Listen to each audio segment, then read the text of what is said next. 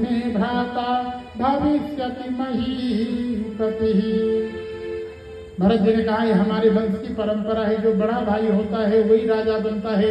तो पहले भी वो राजा बनने वाले थे। ये तो बीच में माँ और कहते हैं, कुब्जा के शरीर में कारण दर्द हो गया, लेकिन अभी कुछ नहीं बिगड़ा है, अब मैं आ गया हूँ। तो भरत जी ने कहा, जो हमारे कुल की परंपरा थी कि बड़ा भाई राजा बनता था तो कहते हैं, अब भी राजा बनेंगे आम द्वारा आप क्या करेंगे? भरत जी ने क्या उल्टा हो अरे राम जी, यहाँ आ जाए और हम बदले में, क्योंकि पिता की आज्ञा वनवास का है तो भाई भाई में अदला बदली हो सकता है। भाई भाई में भरत जी ने कहा कि भाई भाई हम अदला बदली कर देंगे। क्योंकि मेरे यहाँ रहने से कल्याण, राष्ट्र का कल्याण होने वाला नहीं, लेकिन राम जी आ जाएँगे तो कल्याण हो जाएगा।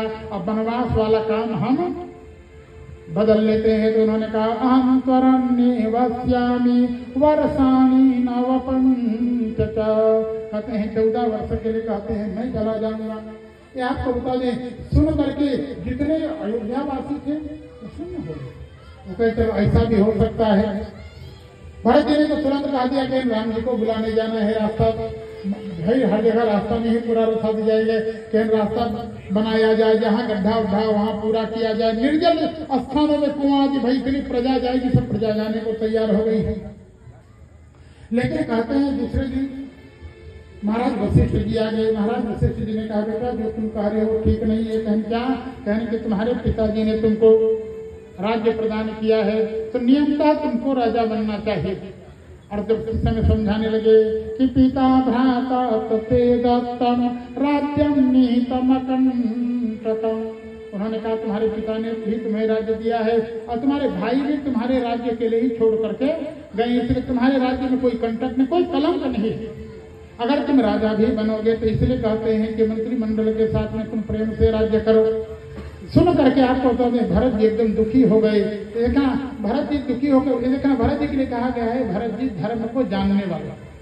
भरत जी ने मन में विचार किया। भरत जी कहते हैं कि भले हमको कह रहे हैं, लेकिन क्या कहने मात्र से हमको लेना? चाहे बड़े भाई का राज्य, कभी छोटे भाई को, बड़े दूसरे का हिस्सा लेना जी ने हाथ जोड़ करके कहा, महाराज, अगर ये कोई दूसरा कहा होता तो हम कह सकते थे, लेकिन आश्चर्य तो है, आप जैसे धर्म का जानकर भरत जी ने हाथ जोड़ करके कहा कि गुरु विवेक सागर जग जाना, जिन्हें विश्व कर जाना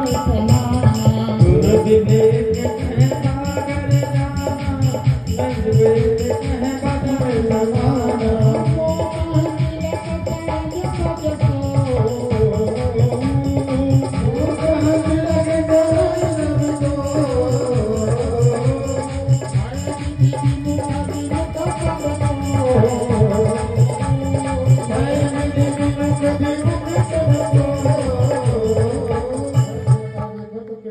आश्चर्य है। जो गुरु जी हमारे इतने बड़े जान गए हैं कि पूरे विश्व को बदरी बदरी फल समझता है कि नहीं?